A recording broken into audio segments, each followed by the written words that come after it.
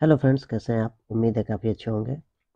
आज का जो टॉपिक है, वो वर्ल्ड का सबसे इम्पोर्टेंट टॉपिक है, सबसे महत्वपूर्ण टॉपिक है, क्योंकि ये आपका हेल्प उस समय करेगा जब आप कुछ ऐसी स्थिति में फंसेंगे।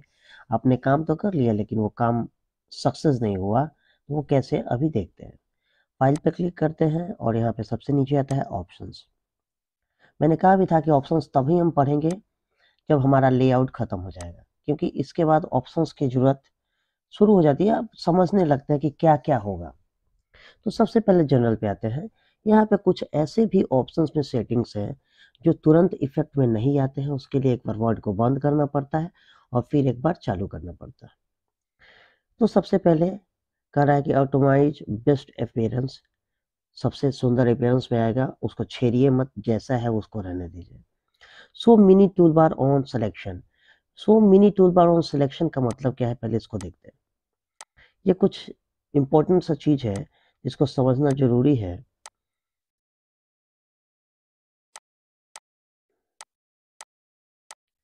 देखिए, इसके लिए कुछ लिखते हैं यहाँ पे रैंड अब जैसे कुछ सेलेक्ट करते हैं तो देखिए एक छोटा सा टूल बार आ गया, ये वाला। यही है मिनी टूल बार इसी को कहते हैं कि सिलेक्शन पे वो आए।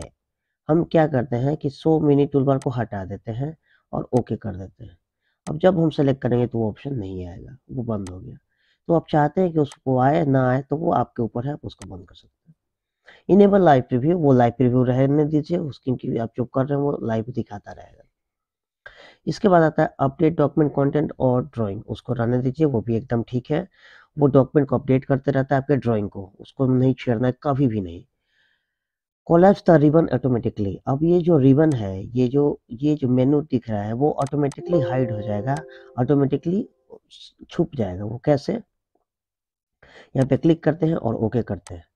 ये हाइड नहीं हुआ क्योंकि मैंने कहा था कुछ ऐसी चीज़ें होती हैं जिसको, ये इसको एक बार बंद करके चालू करना पड़ेगा। तो एक बार हम क्या करते हैं? किसको बंद कर देते हैं? डॉन सेफ़ और फिर से एक बार वर्ड खोलते हैं।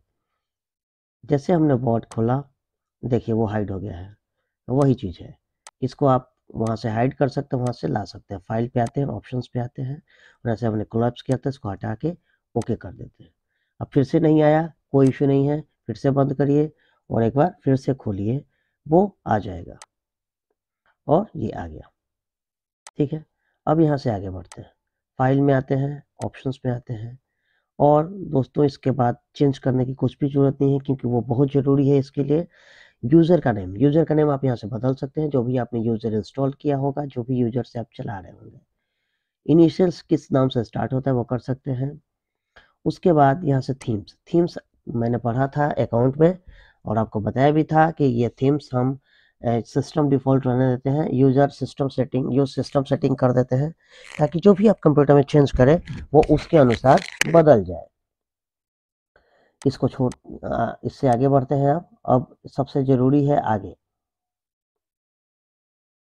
अब यहाँ पे देखिए डिस्प्ले डिस्प्ले में आते हैं और यहाँ पे कहता है कि so white space between page and print layout view जब वाइट स्पेस कब करेगा? जब हम प्रिंट को प्रिंट लेआउट में जाके देखेंगे तब।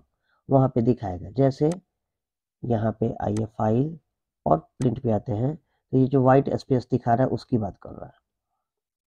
ठीक है, इसको ऑप्शंस पे आते हैं फिर से। और यहाँ से कहते हैं डिस्प्ले में। और कहता है हाईलाइट मार्क्स उसको छोड़ दीजिए। हाईलाइटर का जो मार्क होगा, वो दिखाई देगा। So document tool bar on hover hover जैसे लेके आएँगे, उस पर कोई टूल बार होगा। ये टूल बार वही एच ओवर वो दिखाई देगा। उसको भी छोड़ दीजिए, क्योंकि वो आपके लिए बहुत हेल्पफुल रहता है। यदि जो है, उसके बारे में, उस टूल के बारे में आपको ध्यान नहीं है तो आप वहाँ से देख सकते हैं। कुछ स्पेशल कैरेक्टर्स हैं, कुछ स्पेशल मार्क्स हैं जो आप वहाँ से शो करा सकते हैं। ये टैब कैरेक्टर स्पेस कैरेक्टर इन सबको शो करा सकते हैं। उसकी कुछ खास ज़रूरत नहीं पड़ती है। लेकिन सबसे ज़रूरत, सबसे इम्पोर्टेंट चीज़ क्या है? तो print drawing create in window in word जो भी ड्राइंग क्रिएट करेंगे वो दिखाई देगा।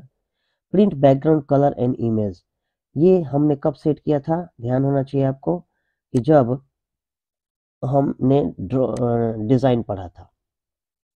यहाँ पे क्या किया था कि डिज़ाइन में आते हैं और पेज का कलर कोई सेलेक्ट कर देते हैं और प्रिंट आउट करते हैं तो वो हमारे प्रिंट आउट में आता है। अगर इसको हम चेंज कर दें यहाँ से डिस्प्ले में आके इस चीज़ को हटा दें तो वो क्या होगा कि जब हम प्रिंट आउट करेंगे तो वो कलर अब नहीं आएगा। तो ये सेटिंग हमने कहाँ से किया था? तो डिस्प्ले में आने के बाद यहाँ से print background colour and image जो भी बैकग्राउंड में इमेज और कलर लगाएँगे, वो यहाँ से आ जाएगा। प्रिंट डॉक्यूमेंट प्रॉपर्टी करना चाहते हैं तो डॉक्यूमेंट का जो प्रॉपर्टी होता है, कितना लाइन, कितना वे, वो सब दिखाएगा। एक बार इसको ओके करते हैं और फिर देखते हैं। कंट्रोल पी अब यहाँ पे जब ये प्रिंट होगा तो उसका प्रॉपर्टी भी छाप देगा। लेकिन ये जब भी प्रिंट होगा तो प्रॉपर्टी भी छाप देगा। ठीक है, इसके बाद एक बार ऑप्शंस में आते हैं फिर से। और हम इसको हटा देते हैं, क्योंकि ये हमें प्रॉपर्टी नहीं चाहिए। सॉरी यहाँ पे नहीं है। डिस्प्ले में है। प्रॉपर्टी नहीं चाहिए। उसके बाद प्रिंट हिडन टेक्स्ट जो कुछ हिडन टेक्स्ट होते हैं, उसको भी छाप देगा। और हिडन टेक्स्ट क्या है? तो ये सामने आपको जो दिखाई दे रहा है, वही हिडन टेक्स्ट है। उनको भी छाप देगा। ये कभी नहीं करिए, क्योंकि हिडन टेक्स्ट छापने का कोई मतलब नहीं, आपका जो डॉक्यूमेंट होगा, वो बेकार हो जाएगा। अपडेट फ़ील्ड बिफोर प्रिंटिंग छोड़ दीजिए। वो प्रिंटिंग जो आप सेट करेंगे, वही नहीं तो वो खुद से अपडेट करने लगेगा वो फ़ायदेमंद नहीं है। Update link data before printing. Update जो भी लिंक का डाटा होगा अपडेट कर लेगा? नहीं, उसको भी कुछ नहीं करिए। वो भी आपके लिए यूज़फुल नहीं है। अब यूज़फुल क्या है? तो प्रूफिंग। प्रूफिंग क्या होता है? प्रूफ। हम जो कर रहे हैं, हम जो लिख रहे हैं, वो हमारा सही है कि नहीं? इस प्रूफिंग का यूज़ किसमें होता है? तो रिव्यू में होता है, यहाँ पे, इस मेनू में। इसका अभी ऑप्शंस देखिएगा तो कुछ ज़्यादा समझ में नहीं आएगा। ये प्रूफिंग जब हम उस समय आएँगे तो प्रूफिंग देखेंगे। प्रूफिंग का काम तब होता है जब आपका पूरा डॉक्यूमेंट बन के रेडी हो गया है तब।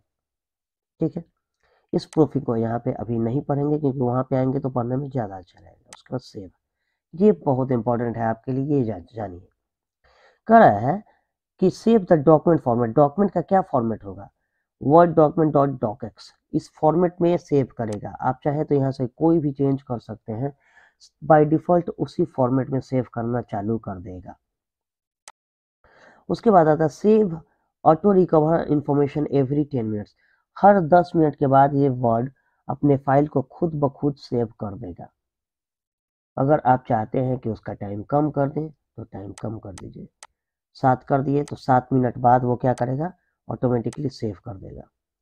उसके बाद यहाँ पे आता है keep the last auto recover version version if I close without saving अगर आपने कोई डॉक्यूमेंट सेव नहीं किया है और डायरेक्ट बंद कर देते हैं कंप्यूटर या कंप्यूटर डायरेक्ट बंद हो जाता है तो वो कहाँ रहेगा? वो यहाँ पे वो फ़ाइल जाके सेव हो जाएगा। एक बार इस जगह को खोल के देखते हैं ब्राउज करते हैं। यहाँ पे आपको दिखाई देगा कि ये दो जो फ़ाइल है, ये हमने इसको सेव नहीं किया था, ये ऑटोमेटिकली कंप्यूटर्स बंद हो जाने के कारण से ऐसा हो गया है। तो वो रहने दीजिए क्योंकि बताने के लिए काम करता है। तो ये ऐसा वहाँ रहेगा, आप उसको भी सेव कर सकते हैं। Don't so back stage where opening the save file and keyword shortcuts उसको छोड़ दीजिए, उस पर मत छेड़छाड़ करिए। Don't additional place of having event उस एडिशनल पेज को भी लेना चाहते हैं? नहीं, उसको छोड़ दीजिए, वैसे ही जैसे है, बाबू वैसे ही करो। अब save to computer to by default अब कंप्यूटर में बाई डिफ़ॉल्ट सेव करने लगेगा। ये ऑप्शन जैसे आप इनेबल कर देते हैं तो आपका डॉक्यूमेंट क्या होगा कि जब भी आप काम करने लगेंगे तो वो बाय डिफ़ॉल्ट सेव करने लगेगा तो आपका कंप्यूटर स्लो हो सकता है। इसलिए उसको चेंज ना करें। लेकिन ऐसी स्थिति आ जाती है कि जहाँ पे बिजली बहुत ज़्यादा जाती है या फिर आपके कंप्यूटर में यूपीएस नहीं है या फिर आपके लैपटॉप में बैटरी नहीं है, उस स्थिति में आप इसको इनेबल कर सकते हैं तो फ़ायदेमंद होगा। Default location default location file location. अब डिफ़ॉल्ट कहाँ पे सेव करता है? C user Tiwari document. मतलब माई डॉक्यूमेंट में जाके ये डॉक्यूमेंट में बाय डिफ़ॉल्ट कोई भी फ़ाइल सेव करता है, उसको आप यहाँ से चेंज कर सकते हैं।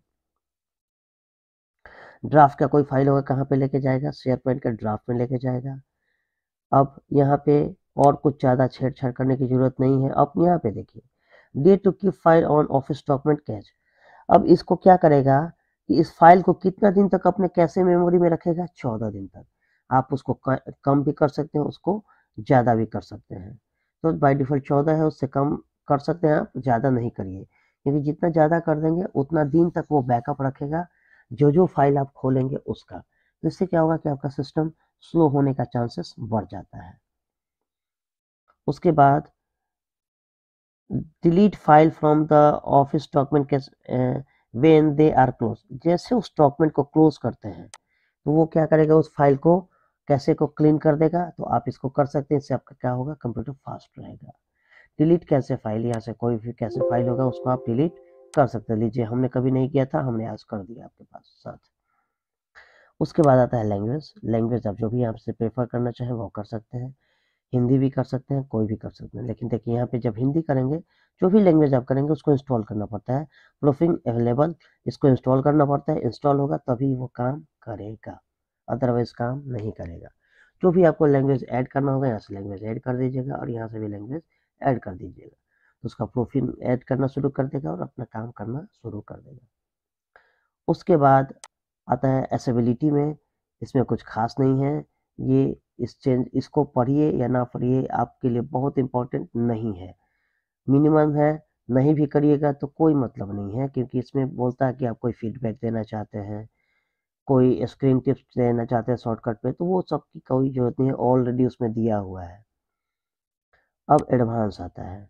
एडवांस में क्या करता है कि यहाँ से टाइपिंग रिप्लेस सेलेक्टेड टेक्स्ट जो भी टाइपिंग करेंगे रिप्लेस कर देगा जो सेलेक्ट टेक्स्ट का सेलेक्ट जो टेक्स्ट है, जैसे इसको देखते हैं एक बार। इस कलर को क्या करते हैं? पहले नो कलर कर देते हैं। और यहाँ पे एक शब्द जो हमारा इम्पोर्टेंट है लिखने के लिए R A N D randomly sorry randomly कुछ कर देते हैं, लिख दिया हमने। करें कि यहाँ से जब सेलेक्ट करके कुछ टाइप करेंगे तो उसको रिप्लेस कर देगा एकदम कर देगा। क्योंकि हमने उसको सेलेक्ट करके, ये ऑप्शंस पे हमने क्लिक करके रखा हुआ है एडवांस में कि टाइप रिप्लेस सेलेक्टेड टेक्स्ट जो भी रिप्लेस वो होगा, उसको रिप्लेस कर देगा। और ये सबसे बड़ा सेटिंग का ऑप्शन है एडवांस का। तो दोस्तों, इस चीज़ को हम आज यहीं पे ख़त्म करते हैं, क्योंकि ये वीडियो बहुत लंबा हो जाएगा। एडवांस कस्टम रिवन भी बहुत लंबा है टॉपिक। तो हम इसका दूसरा पार्ट कल शुरू करेंगे और आज हम इस वीडियो को यहीं पे समाप्त करते हैं क्योंकि advance custom ribbon quick access tool bar और एडॉन्स और ट्रस्ट सेंटर। तो ये कुछ खास नहीं है, लेकिन ये जो तीन चीज़ें हैं, ये टॉपिक बहुत लंबा हो जाएगा और ये वीडियो बहुत ही बड़ा हो जाएगा तो इसलिए इसको यहीं पे ख़त्म करते हैं। कल का वीडियो आपके लिए और भी ज़्यादा इंपॉर्टेंट रहेगा वर्ड के पॉइंट ऑफ़ व्यू से या फिर किसी भी वर्ड एक्सेल पावर पॉइंट के पॉइंट ऑफ़ व्यू से। आज का वीडियो यहीं पे ख़त्म करते हैं। Thank you very much